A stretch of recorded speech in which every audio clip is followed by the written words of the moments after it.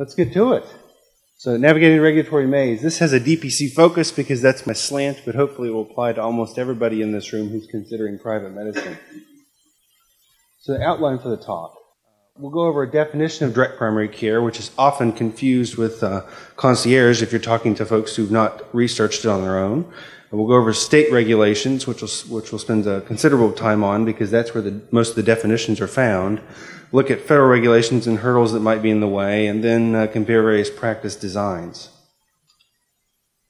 So, the three part definition, we made it as concise as we could at the Direct Primary Care Coalition, looking at around 14 or so state laws and also uh, some federal legislation that's out there. And this is kind of what the consensus definition is these days. So, it charges a periodic fee for services, that's typically a once a month fee, does not bill any third parties on a fee for service basis, not for the DPC patients at least. And then any per visit charge must be less than the monthly equivalent of the periodic fee. And the third one is usually what has people scratching their heads and the intent there is, uh, hypothetically, you could come up with a practice design where you said, oh, I charge you $10 a month and I charge you $100 a visit. That's different, um, but it's more of a cash pay urgent care probably than family medicine. So that's why we wrote it this way. And that kind of model would not get you unwanted attention from a state insurance commissioner, which is also the main reason for this definition is to protect physicians from unwanted intrusions from state insurance commissioners.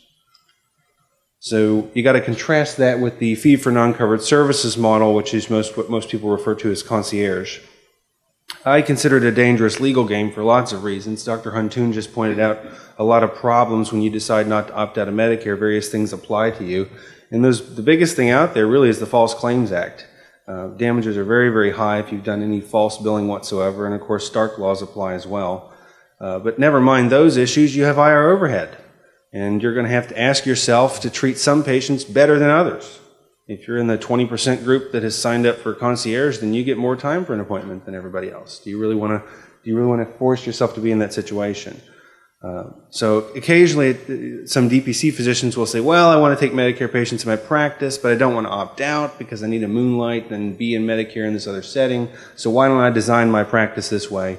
And I tell them that you can, but you open yourself up to the legal risks highlighted above, and unless you're trying to design your entire membership to be non-covered services for all your patients, um, then if I'm if I'm the plaintiff's attorney on the government side, I'm going to argue that your non-covered services model isn't much different from your covered services model, and therefore it's a bit of a facade, and use that to pierce to pierce the entire operation. So pricing structures. Uh, I already spilled the beans here a little bit on periodic fee. You could have monthly, quarterly, yearly. Most folks do monthly. You could have in arrears, meaning after the fact or prepaid. Uh, I generally recommend um, in arrears rather than prepaid because most states don't have DPC law in the books. In fact, as we'll see later, there's only 14 that have it. About 10 of those are helpful. The other four are really not so much. And uh, unless you've got this clarification, this is often one of the things insurance commissioners will use to come after your practice. So that's one of about 10 things you can do to try and reduce your insurance risk is bill in arrears. Uh, per visit fee, about 25% of direct primary care practices across the country do some sort of per visit fee, usually around 25 to $30. Uh, not something substantial. It's done out of a partial fear that if they don't do that, that patients will visit the practice a little too often. Um, I can tell you that, uh, at least anecdotally so far, the average number of visits per year seems to be around four regardless of whether or not you're charging a per visit fee or not. And most people don't find the need to do that. Insurance commissioners like it when you charge a per visit fee because then they're less concerned about your risk. Uh, uh, we'll also talk. Uh, lab bundling is sometimes done as well. So some practices will bundle, uh, you know, commonly ordered labs, CMP, CBC, TSH, that kind of thing, into a per visit fee type situation to try and simplify things. Uh, enrollment fees are typically used to discourage folks from signing up for DPC and then stopping two months later. Because, as any DPC doc will tell you, a lot of your work is done when the patient first, signs up. Generally speaking, people who are perfectly healthy are not the first to rush in and, and want this type of thing. So you often have an uncontrolled diabetic or some sort of autoimmune condition that you need to straighten away. Uh, and so they use enrollment fees, or better yet, uh, re enrollment fees as deterrents to drop out. Interestingly enough, only 25% of practices do this as well. So, the business of insurance. Uh, I mentioned this earlier. State insurance commissioners will argue that DPC is too much risk uh, they'll say, well, what if you sign up 2,000 patients and 100 of them want to see you on Monday and you can't get them all in? You, are you're an unlawful insurance company and I'm going to regulate you and shut you down. Uh, this is what happened to Vic Wood, who was a DO, graduate of my school up in Wheeling, West Virginia, probably about 20 years ago. And uh, he had a practice that he was seeing a lot of uninsured patients who couldn't afford things. He'd not heard of DPC, he didn't know anything about this, and sort of dreamt it up, kind of at the same time that Garrison Bliss was doing things in Washington State and Brian Forrest was starting things in North Carolina. To my knowledge, they hadn't really crossed paths at that point, but everybody was trying their own thing. So he does this and gets a nasty knock on his door from the insurance commissioner saying, You can't do this anymore. Uh, he had to stop advertising. They didn't make him stop the plan because I think his patients would have gone berserk. Um, so he had to lobby with the legislature for around three years and finally got a very, very narrow exception passed, which we can go over a little bit later about uh, direct primary care in West Virginia. Um, for those looking in the legal literature, there's really no case law directly on point on this argument that the insurance commissioners make. The closest thing out there is Huff v. St. Joseph's Mercy Hospital, which was a prepaid obstetrics plan that the hospital offered in the 70s, where they basically said if you meet X, Y, and Z criteria and we expect your delivery to be fairly standard, you pay us this amount, uh, you know, $2,000 or whatever it was up front, and you won't expect any more additional charges unless there's some sort of complication from the pregnancy. So uh, they won their case, so at least it's slightly good persuasive pre- precedent on our side. That was out of Iowa, if I recall correctly. Um, so scope is an important component of this as well. To the extent you narrow your own scope based on what you do or don't want to do in your contract, then it makes the insurance commissioner less concerned too. If I write in my contract that even though I'm a family physician, I also plan to do uh, colonoscopies and maybe even open heart surgery on Fridays, that's going to get a lot of unwanted attention because you're promising things that are well beyond your traditional scope. Um, theoretically, if you move 50 physicians into your practice and you have every internal medicine specialty and start doing these, this, that, and the other, then you start to look more like Kaiser, and then their argument that you're an insurance company is more valid. So each state has approached this issue a little bit differently. Uh, the 14 states with laws are listed there. Well, I've got a map that shows those a little better later. Okay, uh, scope of practice. So hopefully you define this yourself in your own contract. The other places you can expect to see it defined is sometimes in state law, ideally not, but sometimes. And then also, uh, we've got some health HSA legislation at the federal level that's being pushed around. And uh, by nature, when you just say what, uh, when something has special tax status, you have to define what that something is. There's some DPC physicians out there that work uh, various things you might not expect into the membership fee. Sometimes that might be massage therapy. Um, and so I would expect that if the IRS were to come in and give us some sort of HSA recognition, that they would carve out certain things like that. Okay. And so location, location, location. There's 402 DPC practices across 45 states. it is uh, possible everywhere, but some states make it more difficult than others. Um, and that's where I've, some things in the Best State to Practice Medicine article kind of cover some of these issues. Uh, price transparency is important. The more you have that in the region, the easier it is for your DPC practice to negotiate cash prices. If I'm trying to do this in North Carolina, where there's all kinds of DPC practices, and I call up a radiology group, they're more likely to just give me a cash price for a chest X-ray. Uh, in Cheyenne, Wyoming, that's not the case. You have to do a little more talking, a little more educating to, to get cash prices in the first place. There are several states, I've highlighted them there, where in-office dispensing is especially problematic. Four of those are much harsher than the others. Off the top of my head, the two that surprised me the most were Texas and Utah.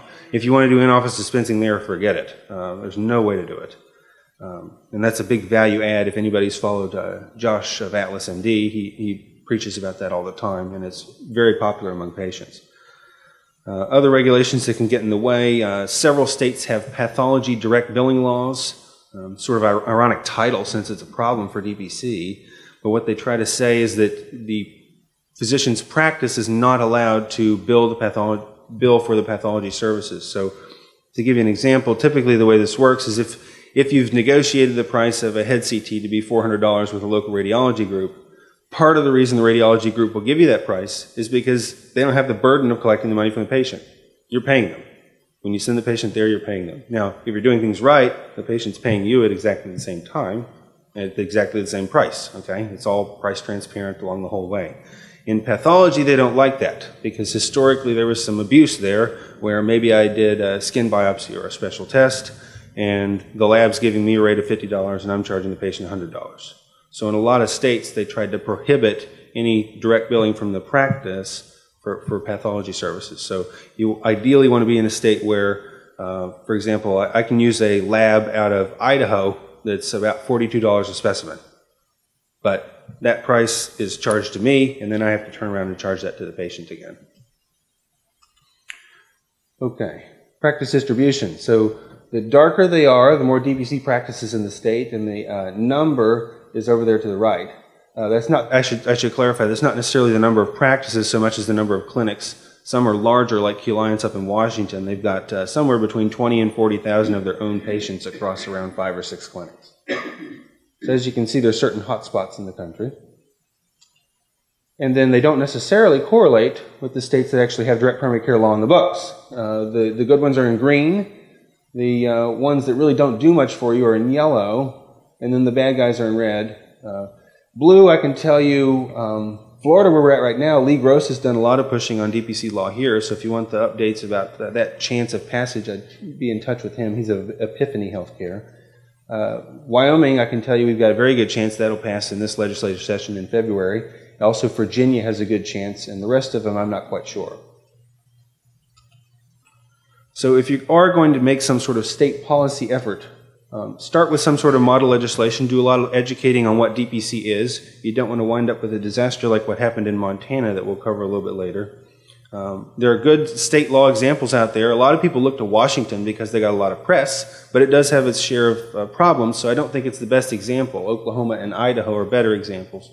Uh, the biggest problem with Washington's legislation was they still gave the insurance commissioner a chance to audit your practice, but when you signed up for this DPC uh, uh, list that they make you sign up for. So uh, don't try and go it alone. Um, and uh, that's, that was Vic Wood's problem in West Virginia. He had to do everything by himself, and uh, they carved in a narrow little exception in what they call a pilot program, which is problematic. So here's West Virginia. They call it a preventive care pilot program because at the time, I believe it was around 2005 or so, DPC wasn't a common term. So they initially limited it to six sites. It's expiring, and they keep gradually renewing it, even though nobody else is signing up for it. And there's good reasons why nobody's signing up for it. They have a healthcare authority, which is basically their certificate of need body. And you have to report to these guys on all kinds of things. They have to approve your marketing. They have to approve your prices. Uh, they still get to control where you do and don't advertise. I can't throw up a billboard. Why not? Because somebody who doesn't have a high deductible plan might see it. I'm only allowed to advertise if I know you have a high deductible plan with a deductible of three grand or greater. So you have absurd things like this on the books that are sort of hampering DPC. If I were practicing DPC in West Virginia, I would not uh, file with this body. I would fully expect, if the insurance commissioner wants to be aggressive, to be a lawsuit, and then I just look for precedent because this is too restrictive to to uh, really do it the right way. Um, mandatory six month wait for an employer who decides to purchase DPC for his employees. Now that's been one of the few things. Uh, you know, I'm not a fan of the Affordable Care Act, but it has made people pay attention to price more, and that includes employers. And there has been a trend toward employers having self-insured plans. And when people self-insure with stop loss and they see all these prices up front, they come looking for DPC practices once they learn they're an option. And the idea that an employer would make this decision and then you'd have to say, oh, we can do this, but wait six months. That's one more problem. So a lot of concerns with that legislation. Oklahoma was a good example. Uh, they clearly defined DPC. They said it's not insurance, not subject to regulation by any insurance department. Um, and I'll let you guys read that later. It's, it's uh, very good. Arkansas, if you look into it, they actually didn't use the phrase DPC much. They used the phrase concierge, which kind of just, you know, right off the bat tells you they weren't thinking of this appropriately. Because concierge practices, they do double dipping, where you have that fee for service on top of it. So they never got unwanted attention from the insurance commissioner. But Arkansas wrote it as though it was concierge, and then did the same thing Arizona did, which was they included a phrase right here at the end of this Montana slide, which punches a hole in the entire legislation. So they said, basically this is the same phrase, so we, just, we can just read it real quick. This code does not apply to direct primary care provider plans established pursuant to blah, blah, blah, blah, if the plan does not assume financial risk. Well, that was the whole debate in the first place with the insurance commissioner was or not this plan assumed financial risk. So the minute you throw that phrase in there, you might, might as well not have written the law. And that's in Arizona. Uh, that's in, that was in Montana's proposal, and I believe that's in Arkansas as well. So not only did they not define things appropriately, but they had um, junk like that in there. Um, Montana was a real mess. Um, so this was, they didn't contact anybody that I know anywhere in the direct primary care community, um, not the coalition, not any direct primary care physicians. Um, they wrote it to require board certification, so they decided to, to get in that mess as well. Uh, they defined chiropractors as primary care. They confused mandatory disclosure provisions and other problems about double dipping. Um, and it passed. It was very partisan. I think it was all, all, Republicans voted for, all Democrats voted against. And then the Democrat governor vetoed it and went on to say statements like this. So uh, basically, bashing direct primary care, indicating he doesn't know what it is. So it was this real comedy of errors where I'm glad it was vetoed, but it was vetoed for totally the wrong reasons. Uh, so uh, once we get past the state law issues, how do you uh, be careful about establishing a patient relationship? This is one of the most common pitfalls I see in DPC practices. So a lot of uh, vendors out there will help you sign up patients, and they'll say, "Well, have them do online sign up." And then that day you get them to give you your credit card, and then immediately you're charging the patient, and there's no lost revenue, and that's great for you. And that sounds wonderful, but the problem is if you take the money, then you start a patient relationship. And if they show up expecting you to prescribe methadone and they've been paying you for three months, now you've got a problem. So I don't recommend just taking that right off the bat. I think you can have them sign up and do any number of things uh, initially, but uh, don't start taking payment until it's clear to you this is a relationship that both of you want. And then in general, just uh, watch it when it comes to narcotics. Uh, DPC or any type of cash pay model means you're a DEA target. Okay, and when you're discontinuing care, look to your state's laws there. Um, some state DPC legislation does discuss this as well, and I've got some examples later out of Washington, Louisiana, and Mississippi. um, so here those are. They provide that if the patient participates in any fraudulent activity, fails to pay for services, is abusive, physically or emotionally, doesn't adhere to a treatment plan, which physicians really get excited about, uh, or uh, practice simply discontinues DPC operations, then that's all a reasonable basis for discontinuing care. And this is fairly intuitive for any physician, but when it comes to uh, legislatures and policymakers that don't practice medicine, this is really helpful to put in there. Traditional insurance. Uh, I don't recommend you sign any traditional insurance party third party contracts, largely because if you're really spending most of your time in DPC, you just don't need these things. But beyond that, if you sign them willy nilly and then think, oh, I'm just going to quit and launch my own direct primary care practice, they might be able to come in and shut you down. How do they do that? Because you're in breach of the contract when you privately contract with the Blue Cross Blue Shield patient that you promised you would take fee for service payments for. So if you are under a traditional insurance agreement, you either need to write in your own clause at the end having something to, to, the effect of saying this does not apply to patients with which I privately contract in my office. If they're unwilling to sign that, then you leave the agreement with the 90 day out clause or whatever they have and, and pay attention to that procedure. We did have a DPC physician who did have to temporarily shutter her operations over this very issue. So, uh, always have patients sign individual contracts with you. That sounds fairly intuitive. But if you're a large group like Qliance and you had a big employer like that had 2,000, 3,000 patients, then uh, you don't want to have uh, have the employer just lump all these patients on you and then not sign a contract with them because then you change the selected marriage of DPC into an arranged marriage of capitation where nobody's happy. So you got to be careful and always make sure your patient has the ability to fire you if they don't like you. Okay. Uh, state legislative summary. Things that you want, a clean definition of DPC, uh, not insurance protection, not insurance mandatory disclosures, double, dip, double dipping fee for service prohibitions. Those all help clarify what it is, and quite frankly, they make things nicer in the concierge group as well. Because when you've got laws like Oregon that poorly define things, they wind up requiring registration from both DPC and concierge groups when the concierge groups should have never been subjected to any of this anyway because they didn't have business of insurance risk.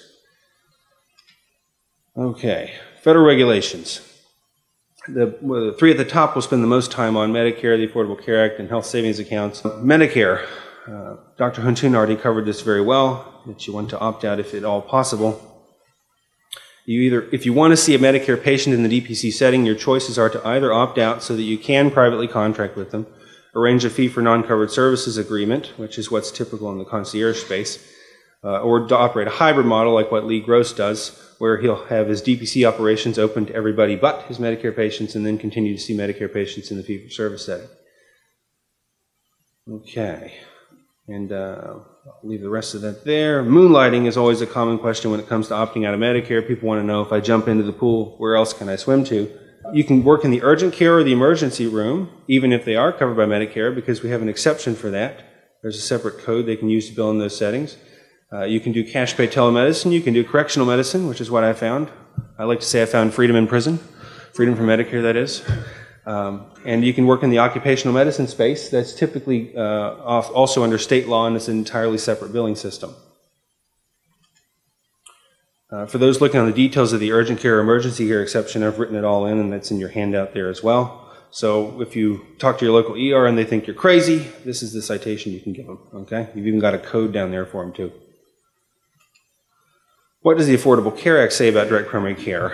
Uh, Section 10104 says that HHS shall permit a qualified direct primary care health plan to provide coverage through a qualified direct primary care medical home plan that meets criteria established by the Secretary. So obviously the words in red will get everybody's attention. And what do those really mean? Um, first, I threw this in there. Free markets will find a way. If you use DPC and uh, this provision in the ACA, you can kind of punch a hole in the ACA. So, qualified health plans, this is what that is. So these, these 10 requirements are what has to be offered in an insurance plan for it to be uh, legal under Obamacare and meet your requirements. The things I've highlighted in green are places that you get to say to the patient or to the employer, to whoever you're speaking to about direct primary care, that these are where I can make a difference for you as a DPC physician. And based on that theory, you can carve them out. So if I'm, in, if I'm Blue Cross Blue Shield and I finally decide that I like direct primary care, I'm allowed to design an insurance plan that specifically does not cover ambulatory patient services and does not cover preventive wellness services and would presume reductions in other areas. Now, I'm allowed to sell that plan on the exchange if it is paired with a DPC practice. They have to be paired together, bundled side by side with a price point that looks equivalent to everything else in the exchange. So this has not been done to its purest form yet, uh, mainly because DPC has not reached critical mass in any area for people to develop this plan. But as anybody in the room can uh, immediately surmise, this should be the cheapest thing on the exchange should they eventually be offered. So federal HHS rules, these are also in your packet, more for you to read later. Um, the nice thing to note there, when they say consistent with the program in Washington, they're not referencing themselves, they're referencing Washington State which winds up giving that state law a little more uh, credence than others in the sense that the, the Affordable Care Act refers to it directly. So all this language saying uh, basically this is not insurance at various levels, and that includes at the federal level.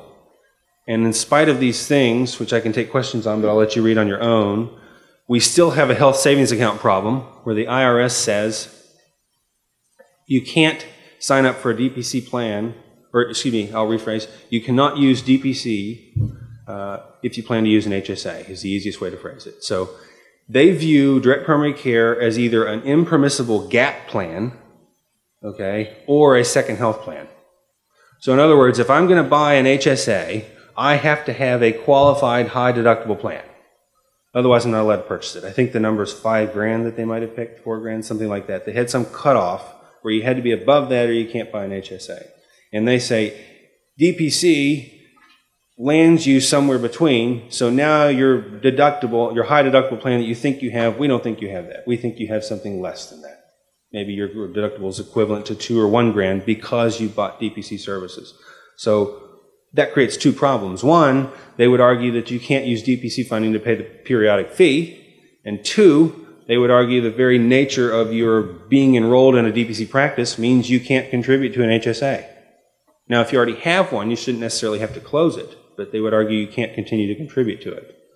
Um, hypothetically, you could open an HSA on January 1st, sign up for DPC on January 2nd, and then use you know, the HSA funds to pay for any ancillary fees that are done on a fee-for-service basis, such as labs and radiologic add-ons and that kind of thing. But uh, it's obviously a large regulatory hurdle right now as written.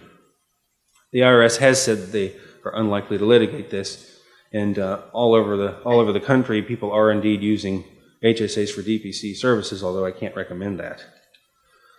Primary Care Enhancement Act was proposed to try and deal with some of these problems. Um, it was designed to uh, fix, the, clarify the HSA issue, and it also created a Medicare pilot, which everybody in this room might sort of cringe, but uh, the way it was written, it would not force the physician to change their opted out status. So we pointed out to the authors of this legislation, look, if you write something trying to allow Medicare to pay for DPC services, your problem is going to be that most of the DPC physicians across the country aren't treating that group of patients, or in order to treat them, has already opted out.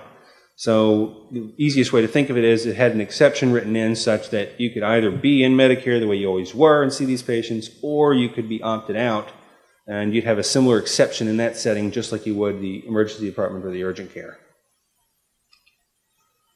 Okay. Uh, if employers talk about being interested in your direct primary care practice, how should you approach this? First, find out if they self insure with stop loss. How many people in the room are familiar with what that means?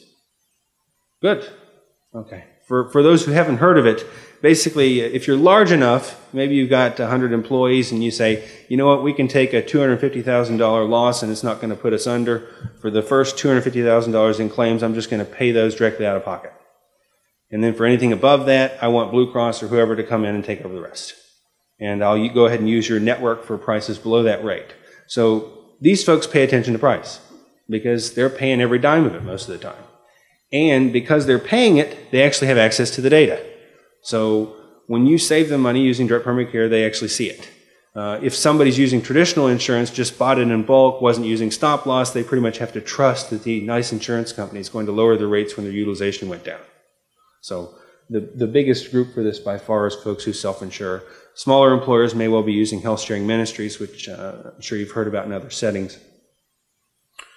Okay. Uh, other options, if these two things don't work, basically you want patients to be as price sensitive as possible, which usually means buying the highest deductible bronze plan on the market, since you can't actually buy the wrap plan that we discussed earlier, which hasn't really been built anywhere yet.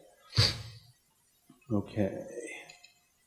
So top three legal advisements. Make sure you consider the business of insurance rules when you're selecting your state to practice. Look up your insurance code if they're not one of the 14 with some sort of law in the books that you can reference. Uh, please do opt out of Medicare if you want to do a pure DPC practice. It'll make your life much easier. And uh, do go all in. I think the practices that don't work wind up creating a hybrid when they didn't mean to. They say, well, we'll stop insurance, we'll stop one insurance and we'll gradually add direct primary care patients and the problem is your overhead never do- drops down enough, your legal risk never drops down enough either, and your price points aren't low enough to make the practice successful, and you quickly declare failure when I would argue you never gave it a chance. Um, there's a little bit of recommended reading and uh, a few upcoming events also in the packet. If you have any questions, I'm happy to uh, answer them by email, and uh, thank you.